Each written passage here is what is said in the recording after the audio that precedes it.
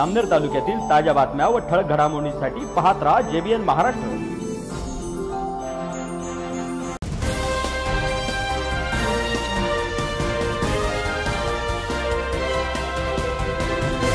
नमस्कार मी किरण सोनवणे. पाहूया काही ठळक वृत्त. जामनेर तालुक्यातील परतीच्या पावसामुळे झालेल्या अतिवृष्टीमुळे बळीराजा हवालदिल झालेला आहे. मका ज्वारी बाजरी कपाशी सोयाबीन ही पिके अतिवृष्टीमुळे सोडून शेतकरी राजाचे मोठे नुकसान झालेले असल्यामुळे शासनाने त्वरित पंचनामे करून शेतकऱ्यांना हेक्टरी पन्नास हजार रुपयाची मदत करावी अशा मागणीचे निवेदन जामनेर तालुका राष्ट्रवादीतर्फे नायब तहसीलदार यांना देण्यात आले.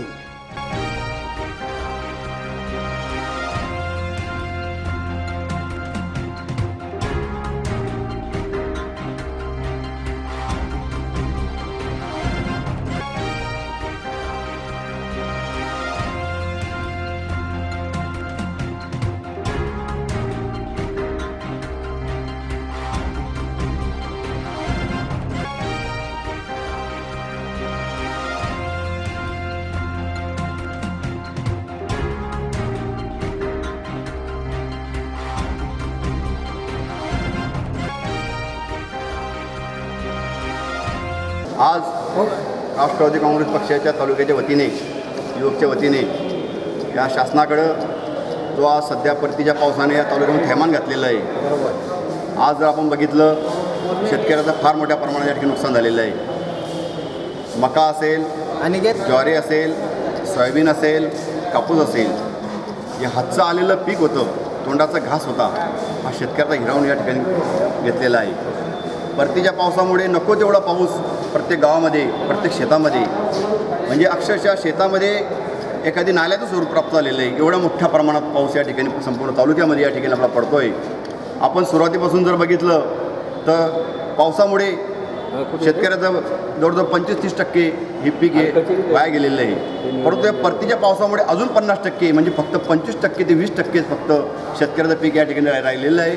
म्हणून शासनाला आम्ही राष्ट्रवादी काँग्रेस पक्षाच्या वतीने शेतकऱ्यांना सरसकट कर्जमाफी करावी शेतकऱ्यांनी शेतकऱ्यांसाठी ओला दुष्काळ जाहीर करावा शेतकऱ्यांना त्वरित मदत म्हणून सण पन्नास हजार रुपये त्यांच्या खात्यामध्ये शासनाने जमा करावी अशा मागण्यासाठी या ठिकाणी निवेदन या ठिकाणी देण्यात आलेलं आहे. आपण जर सध्या बघितलं आहे महाराष्ट्राचं महाराष्ट्र शासनाच्या बाबतीत बोलायला झाल्यास या ठिकाणी शेतकऱ्यावर फार मोठ्या प्रमाणात आसमानी संकट या ठिकाणी ओढवलेलं आहे. परंतु हे सरकार आपलं सरकार स्थापनेमध्ये नाटक या ठिकाणी सध्या सुरू आहे. भारतीय जनता पार्टी असेल शिवसेना असेल त्यांना जाणून बुजून उशिरा सरकार स्थापन करून शेतकऱ्यावरती अन्याय करायचा आहे. फक्त आम्हाला दाखवायचं की आमचं भांडण चालू आहे. परंतु यांना शेतकऱ्यांना देण्याची यांची कुठल्याच प्रकारे मानसिकता नाही. म्हणून या सरकारला जागा करण्यासाठी आम्ही तालुक्याच्या वतीने या ठिकाणी शासनाला ज्या या ठिकाणी जाहीर करू इच्छितो शेतकऱ्याच्या वतीने या ठिकाणी सांगू इच्छितो की बाबांनो आता तुमचं भांडण थांबवा. हा शेतकरी या ठिकाणी इतका हवालदी झालेला आहे. त्यांची अक्षरशः दिवाळी या ठिकाणी अंधारात गेलेली आहे. त्यांना जगावं की मरावं हा मोठा प्रश्न या ठिकाणी पडलेला आहे. दिवाळी अंधारात गेली हातचं पीक गेलं त्यांना आत्महत्याशिवाय दुसरा कुठला पर्याय या ठिकाणी उरलेला नाही. म्हणून या शासनाला आम्ही सांगू इच्छितो तुम्ही त्वरित या शेतकऱ्याला मदत करावी. या ठिकाणी शेतकऱ्यांना त्वरित पन्नास हजार रुपये या ठिकाणी खात्यामध्ये जमा करावे आणि ओला दुष्काळ जाहीर करून सरसकट कर्जमाफी या शासनाने द्यावी अशी मागणी या ठिकाणी करू इच्छितो. दिनांक अकरा दोन हजार एकोणावीस. निवेदन देण्यासाठी सर्व असंख्य कार्यकर्ते तालुक्यातून राष्ट्रवादी काँग्रेसचे कार्यकर्ते व शेतकरी बंधू इथे जमा झालेले आहेत. शासनाचा जो चाललेला पोर खेळ आहे यांनी लवकरात लवकर शासन स्थापन करून शेतकऱ्यांना लवकरात लवकर न्याय द्यावा. आज पंचनामे आम्हाला आम्ही अधिकाऱ्यांनी सांगितलं की पंचनामे सुरू केलेले आहेत. सरसकट पंचनाम्याची आम्ही मागणी केलेली आहे. व जामनेर तालुका हा दुष् ओला दुष्काळ लवकरात लवकर शासनाने जाहीर करावा एवढीच मी मागणी करतो.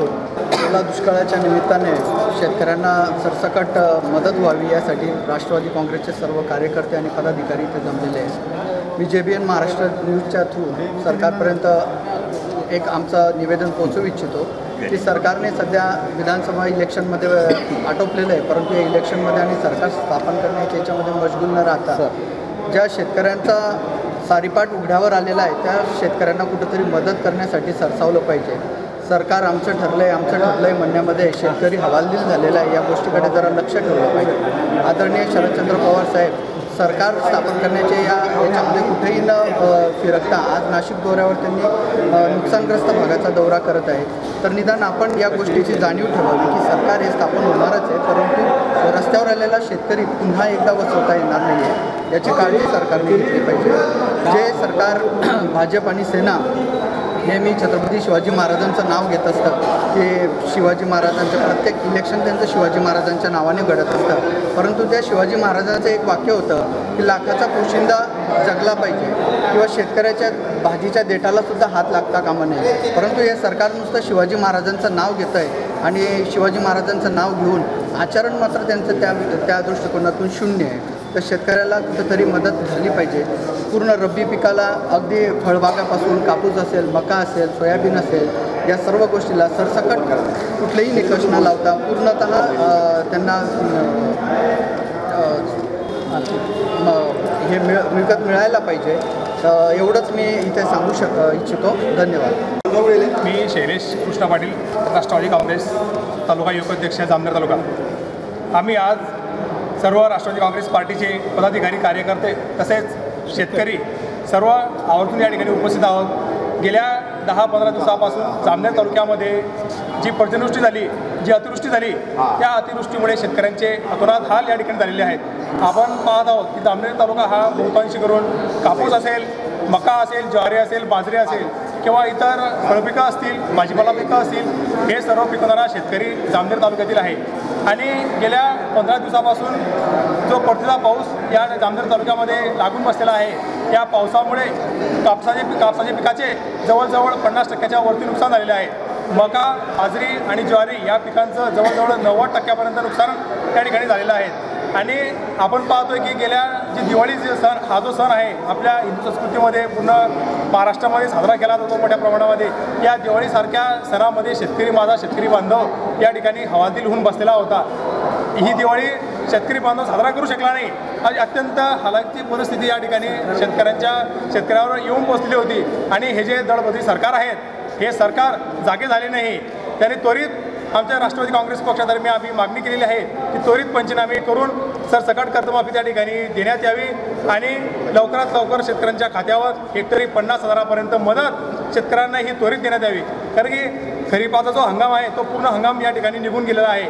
या खरीप हंगामामध्ये जवळजवळ शंभर टक्क्यापर्यंत नुकसान झालेलं आहे आणि दुबारचं जर का शेतकऱ्यांना त्या ठिकाणी पेरायचं झाल्यास लावायचं झाल्यास त्या ठिकाणी शेतकऱ्यांकडे आज पैसे उपलब्ध नाही आहे तर मी या निवेदनामार्फत राष्ट्रवादी काँग्रेस पक्षामार्फत सरकारला विनंती करतो की त्वरित पंचनामे करून शेतकऱ्यांच्या खात्यावर हेक्टरी पन्नास हजार रुपयापर्यंतची मदत ही लवकरात लवकर देण्यात यावी.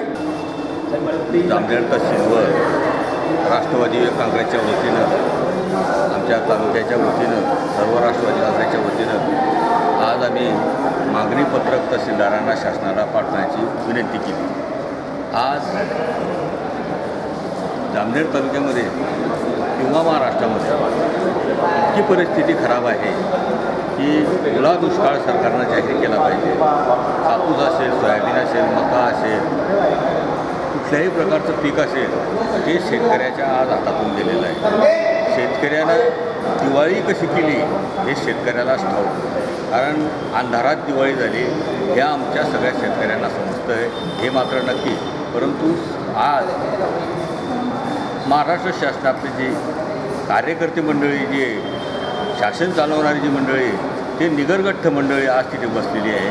आणि त्यांचं कुठल्या शेतकऱ्याकडे लक्ष न देता आज सरकार कसं बनवायचं या बाबतीत त्यांचा विचार चालू आहे. सरकार बनवलं जाईल परंतु शेतकऱ्यांच्या अगोदर समस्या मिटवणं हे सरकारचं धोरण असतं. आणि स स शेतकऱ्याला संकटात धावून जाणं हे शेतकऱ्यांचं पहिला अग्रक्रम असतो.